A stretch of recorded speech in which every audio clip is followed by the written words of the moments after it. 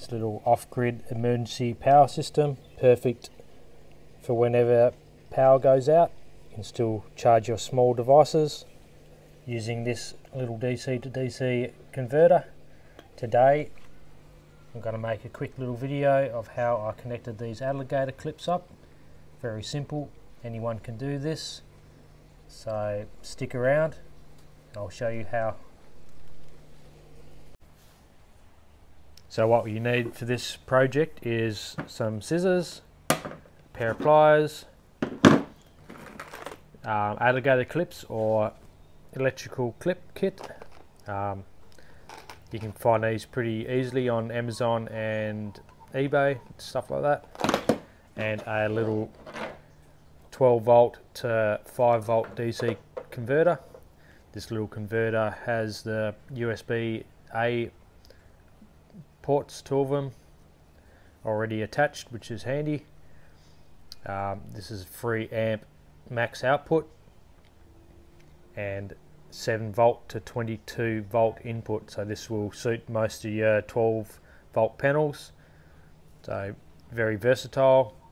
If shit hits the fan or you need emergency power pretty easy to to get yourself a 12 volt panel a lot of people have small little panels laying around so hook this up to your 12 volt panel in an emergency and you can keep your phones and torches and whatnot charged providing the sun shining. So I think that's yeah pretty cool. These are reasonably cheap to purchase. First is I'm going to strip a little bit more wire off this cable.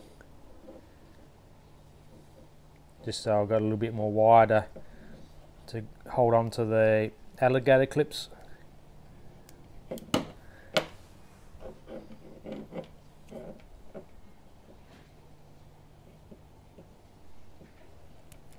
So any, anyone can make something like this up. You don't you know need very minimal skills to put something like this together. If you buy the unit with the USB ports.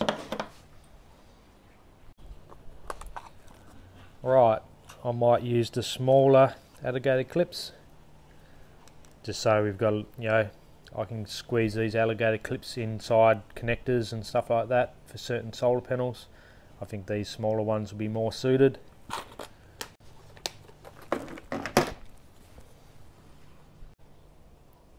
Simply uh, slide the little cover off. As you can see here, um, there's two little metal tabs, so that's what you're going to put your wire in. Then you're going to basically pinch these tabs in to hold the, the wire it's making sure that you slide on the covers first.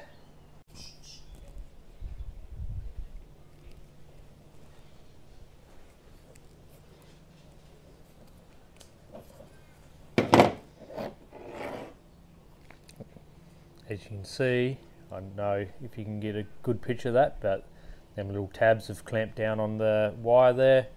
Reasonably good connection, but I'm going to solder this as well. That's another optional thing you can do just to make this a little bit stronger.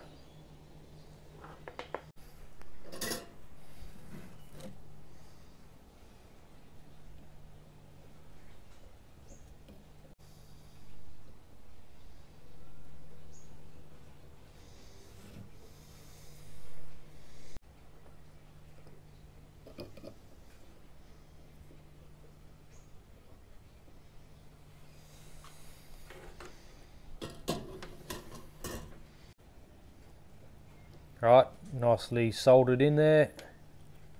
Beautiful. As easy as that. You just slide these covers back on. Easier to just push them open like that. Hold your thumb in the jaws. Then you can just slide the cover back over. Do the same with the negative.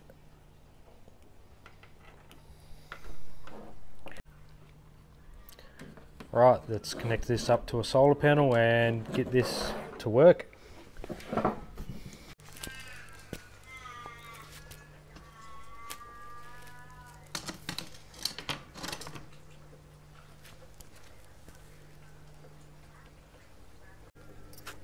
Right, we found ourselves a little bit of sun. I've got this cable already exposed and cut. I know that the brown is positive and the blue is negative. If you are unsure, then you can use a multimeter to check which side is the positive side and the negative side. So what I need to do now is just connect these up. So the red to the positive, blue to the negative, as easy as that. And we should have 5 volt power.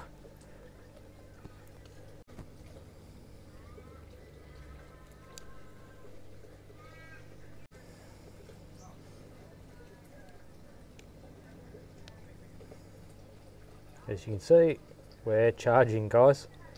So in an emergency, having one of these little devices can be priceless. Have yourself a small solar panel. This is a 20 watt solar panel. One of these and at least you'll be able to keep your phones charged, you know, torches, phones, power packs charged. Although this won't provide a whole heap of power, it'll be enough to, to keep you out of trouble. Thank you for watching. If you like this video, consider liking the video, subscribe if you haven't already, and you want to see more videos like this. And I will see you on the next one.